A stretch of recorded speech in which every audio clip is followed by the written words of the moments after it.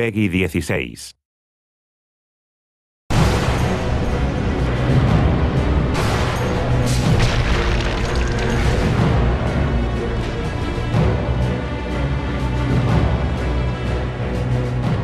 Hi, I'm Steve Hart.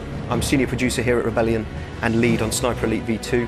I'm here today to show you uh, an exclusive level not seen before, which is the, uh, the Tiergarten Flak Tower.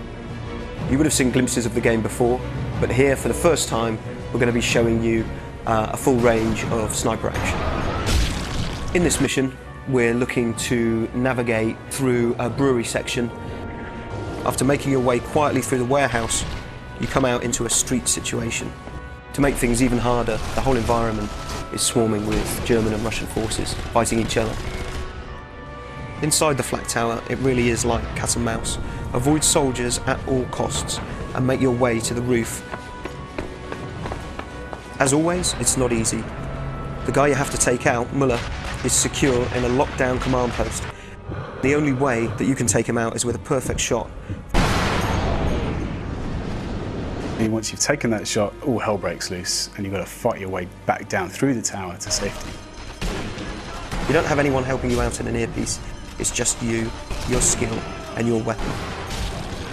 But at the same time, trying to stop this uh, V2 rocket technology falling into the wrong hands, the hands of the Russians. In real life, the V2 rocket technology and scientists behind it became part of what's now known as the NASA program. So you can gauge the importance of the mission from that. The flak tower is actually modelled on the real flak tower that was positioned in Berlin Zoo during the war, known to the locals as Zoo Bunker.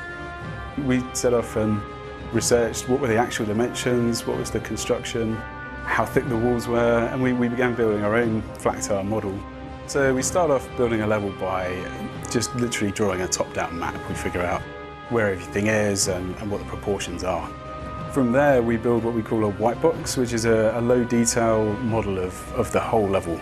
Uh, and that's really what we stick with for a while. Uh, once we're happy with the way everything's laid out, then we hand it over to the artists and they begin the process of making it look great. Starting with the art team, we have concept artists who look at reference photography and draw up aspirational images of what we'd love this level to look like.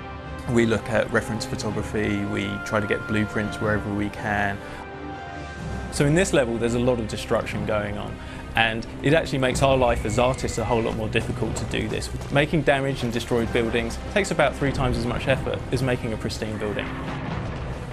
Part of making the level believable is that we've included propaganda posters both for the Germans and the Russians.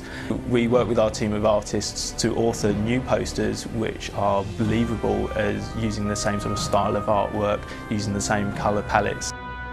We've been consulting with a military historian and he mistakenly said, oh, I've never seen these posters before and uh, hadn't realised that these were ones we had recreated specifically for this game.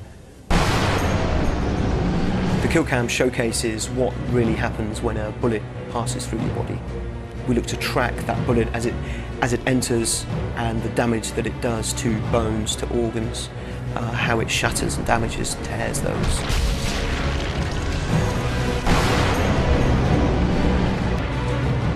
You plan, observe, and execute.